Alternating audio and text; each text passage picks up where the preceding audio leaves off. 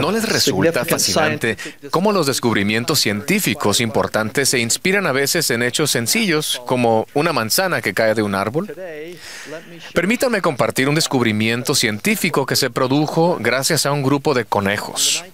En la década de los 70, los investigadores llevaron a cabo un experimento para experimentar o examinar los efectos de la dieta en la salud del corazón.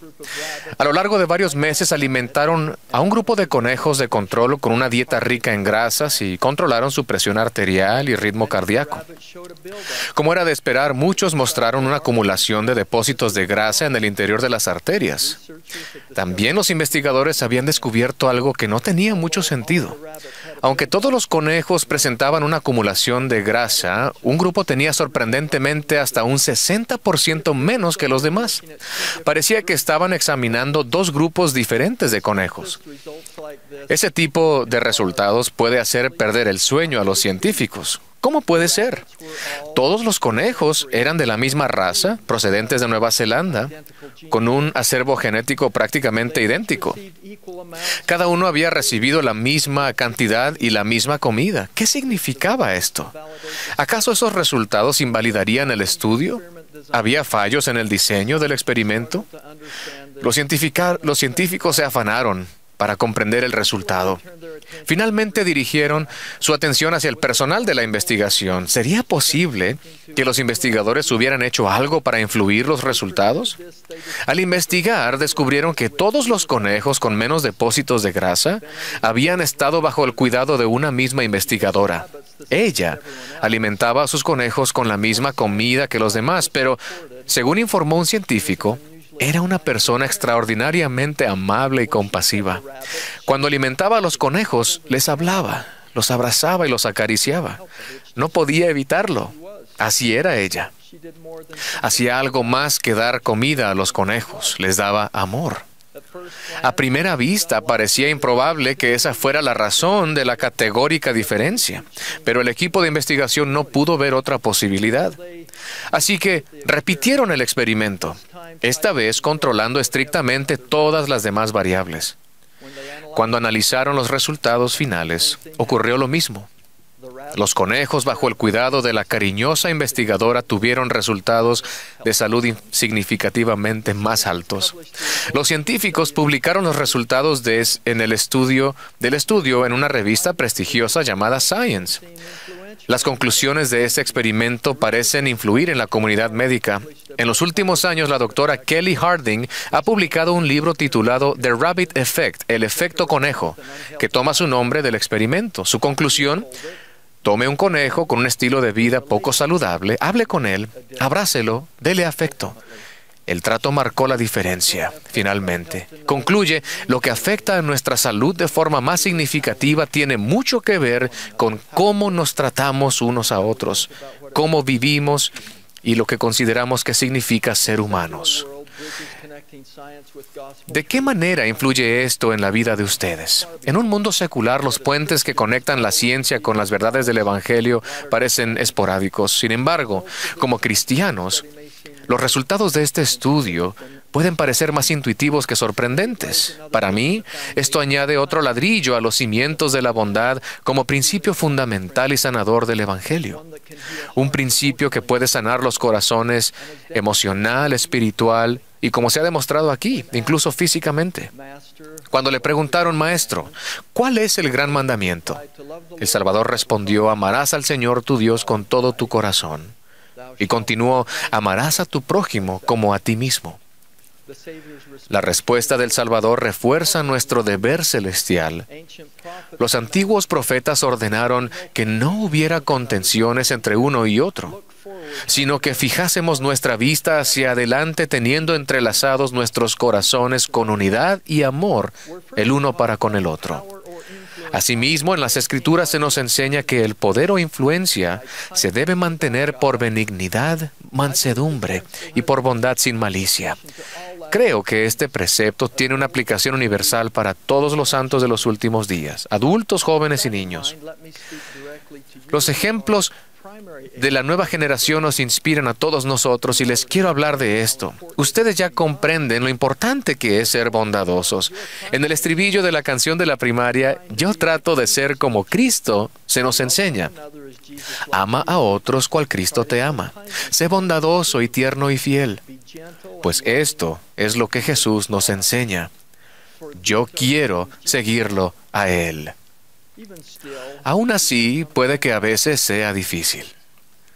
A continuación, una historia que les podría ayudar es sobre un niño de la primaria llamado Min Chan Kim, de Corea del Sur. Su familia se unió a la iglesia hace unos seis años. Un día en la escuela, algunos de mis compañeros se estaban burlando de otro alumno e insultándole. Parecía divertido. Así que durante unas semanas me uní a ellos. Después de varias semanas el niño me dijo que, aunque él actuaba como si no le importara, nuestras palabras lo herían y lloraba cada noche. Y yo casi lloré cuando me lo contó. Me dio mucha pena y quise ayudarlo. De modo que al día siguiente me acerqué a él, puse mi brazo sobre sus hombros y le dije, siento mucho haberme burlado de ti. Él la sintió al oírme y se le llenaron los ojos de lágrimas. Sin embargo, los otros niños seguían burlándose de él. Entonces recordé lo que había aprendido en mi clase de la primaria, hacer lo justo. Les pedí a mis compañeros que dejaran de burlarse. La mayoría decidió no cambiar y se enojaron conmigo. Pero uno de ellos le pidió disculpas y los tres nos hicimos buenos amigos. Algunas personas todavía se burlan de él, pero se siente mejor porque nos tiene a nosotros. Hice lo justo al ayudar a un amigo que lo necesitaba. ¿No es este un buen ejemplo de cómo tratar de ser como Jesús? Ahora para ustedes hombres y mujeres jóvenes, a medida que uno se hace mayor, burlarse de los demás puede derivar en algo muy peligroso. La ansiedad, la depresión y otras cosas peores suelen acompañar al acoso. Aunque el acoso no es un concepto nuevo, las redes sociales y la tecnología lo han llevado a un nuevo nivel. Se convierte en una amenaza más constante el acoso vía Internet. El adversario está utilizando esto para perjudicarlos, a su generación. No hay lugar para esto en su ciberespacio, vecindarios, escuelas o clases. Hagan todo lo posible para que esos lugares sean más bondadosos y seguros. Si observan o participan pasivamente en algo así, no conozco un mejor consejo que el que nos dio el elder Dieter F. Uchtdorf. Cuando se trate de odiar, chismear, ignorar, ridiculizar, sentir rencor o el deseo de infligir daño, apliquen lo siguiente. Dejen de hacerlo. ¿Lo escucharon? Dejen de hacerlo. Cuando se muestren amables, cuidadosos y compasivos, incluso digitalmente, les prometo que alzarán los brazos caídos y sanarán los corazones. Después de hablar a los niños de la primaria y a los jóvenes, ahora quiero dirigirme a los adultos de la iglesia. Tenemos la responsabilidad primordial de marcar la pauta y ser modelos de amabilidad, inclusión y cortesía, de enseñar continuamente a la nueva generación una conducta semejante a la de Cristo en lo que decimos y cómo actuamos. Es importante, a medida que observamos un cambio social hacia la división en la política, clases sociales y casi cualquier otra distinción establecida por el hombre. El presidente Ballard también ha enseñado que los santos de los últimos días no solo debemos ser amables entre nosotros, sino con todos los que nos rodean. Él dijo, en ocasiones escucho acerca de miembros que ofenden a los de otras religiones al pasarlos por alto y no incluirlos en su círculo de amistades. Eso puede suceder especialmente en comunidades donde nuestros miembros son la mayoría. He escuchado acerca de padres de criterio limitado que dicen a sus hijos que no pueden jugar con cierto niño del vecindario porque su familia no es de la iglesia. Ese tipo de comportamiento no va de acuerdo con las enseñanzas del Señor Jesucristo. No entiendo por qué un miembro de nuestra iglesia permitiría que sucediera ese tipo de cosas. Yo he sido miembro de esta iglesia toda mi vida. No he escuchado que se exhorte a los miembros de esta iglesia a hacer otra cosa que bondadosos, tolerantes y benevolentes. El Señor espera que enseñemos que la inclusión es un recurso positivo hacia la unidad y que la exclusión conduce a la división. Como seguidores de Jesucristo nos sentimos consternados cuando escuchamos cómo se maltrata a los hijos de Dios por su raza. Nos sentimos desconsolados al escuchar sobre los recientes ataques a personas de raza negra, asiática, latina o de cualquier otro grupo. Los prejuicios, la tensión racial o la violencia no deberían nunca tener cabida en nuestros vecindarios, comunidades o dentro de la iglesia. Que cada uno de nosotros, sin importar su edad, hagamos lo mejor posible. A pesar de que se esfuercen por demostrar amor y bondad, sin duda resultarán heridos o afectados por las malas decisiones de otros. ¿Qué hacemos entonces? Seguimos la admonición del Señor. Amad a vuestros enemigos y orad por los que os ultrajan. Hacemos todo lo posible por superar la adversidad. Nos esforzamos por perseverar hasta el fin, orando constantemente para que la mano del Señor modifique nuestras circunstancias. Damos gracias por las personas que Él pone en nuestro camino para ayudarnos. Me conmueve un ejemplo sobre esto de los primeros días de la historia de la Iglesia. Durante el invierno de 1838 y 1839, José y otros líderes de la iglesia fueron detenidos en la cárcel de Liberty, mientras que los santos fueron expulsados de sus hogares en Missouri. Los santos estaban desamparados y sufriendo por el frío y la falta de recursos. Los residentes de Quincy, Illinois, vieron su desesperada situación y les tendieron una mano con compasión y amistad. Wendell Mays, un habitante de Quincy, recordó el momento en el que vio por primera vez a los santos a lo largo del río Mississippi en tiendas. Algunos tenían sábanas extendidas para resguardarse del viento. Los niños estaban temblando alrededor del fuego sobre el cual soplaba el viento, así que no les servía de mucho. Los pobres santos padecían terriblemente. Al ver la difícil situación, los residentes de Quincy se organizaron para prestar ayuda. Algunos ayudaron a transportar a sus amigos al otro lado del río.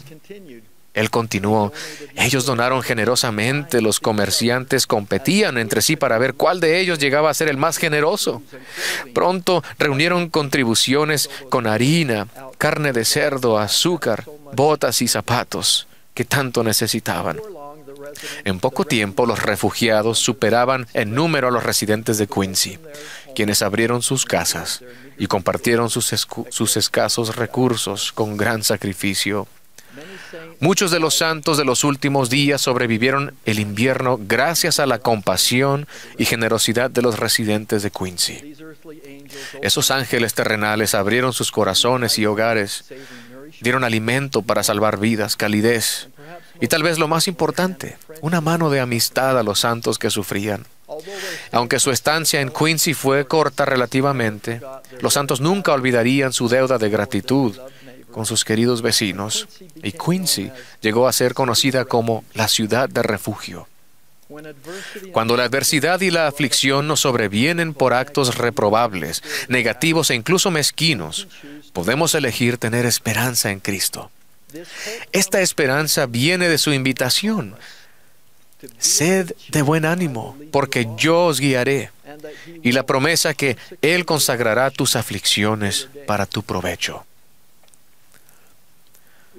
Terminemos ahora donde empezamos.